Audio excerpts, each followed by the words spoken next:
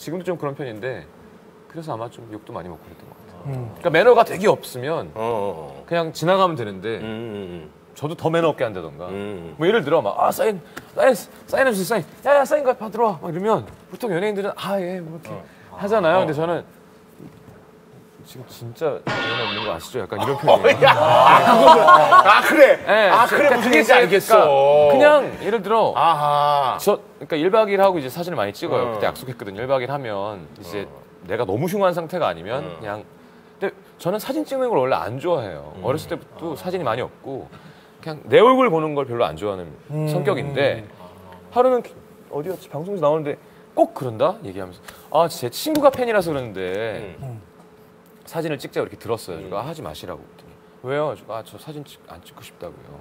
그랬더니 연예인이 왜 사진 찍기 싫으냐고. 근데 그 얘기를 듣는 순간 아 하고 가면 되는데 또 돌았구나 여기서. 연예인은 사진 찍기 싫으면 안 돼요? 약간 이게 문제인 거예요, 제가. 그러니까 저도 사람인데 제가 지금 부탁하시는 거 아니었냐고. 나도 거, 거절할 수 있는 권리가 있지 않냐 그러면 아 진짜 재수 없어서 이렇게 되는 거예요.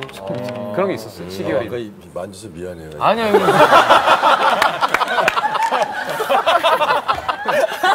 좋아서 만진 거예요.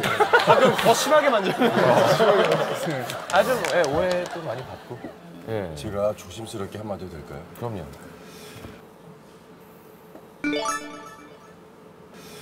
아, 선생님 소변을 너무 참고 있어가지고.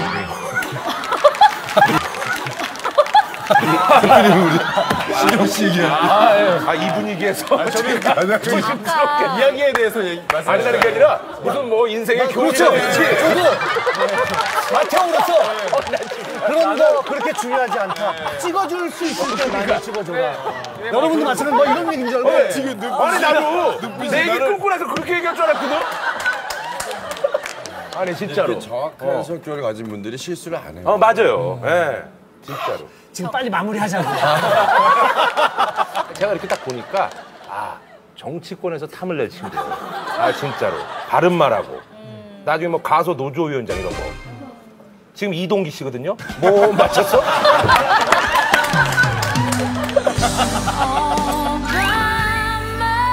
막마다 후에 롤러코스터 인생 최대 경험치 김구라입니다.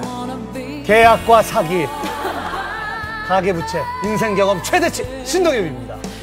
여자 인생 경험 최대치 김희선입니다. 집거와 집착의 끝 나홀로 인생 경험 최고치 봉태규입니다.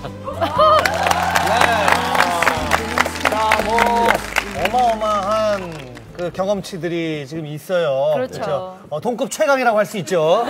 예. 못 따라가요. 예. 어, 우리 화신 MC들이 뭐든지 다 공감해 드립니다. 경험을 통해 깨달은 마법 같은 한 줄. 배고플 때 김밥 한 줄 말듯이 삶이 고플 때 힘이 되는 한 줄을 말아보는 시간. 한 줄의 힘! 라디오에서 듣던 그 목소리. 자, 먼저 이창훈의 한 줄.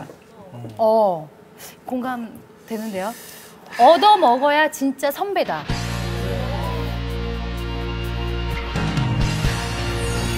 근데 요새 후배들한테 좀 얻어먹고 제가 다니시더라고요. 처음으로 이번 드라마에서 예, 이제 조연, 뭐 조조연, 조조조조연 하면서 처음으로 그 후배가 차려놓은 밥을 먹어봤어요.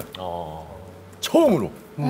이제 그 외에는 이제 그 남녀 주인공이 있으면 남자 주인공이 또 이제 스탭들하고 선후배님한테 또 베풀고 여, 여, 여 주인공이 또 그렇게 하고 했는데 막상 내게 안 되는 거야. 근데 거기서 이제 요번에 촬영을 하는데 저희 송승헌 우리 주인공이 있는데 어, 형님 저기 밥 식사하셔야죠. 그래서 어 아니야 아니야 괜찮아.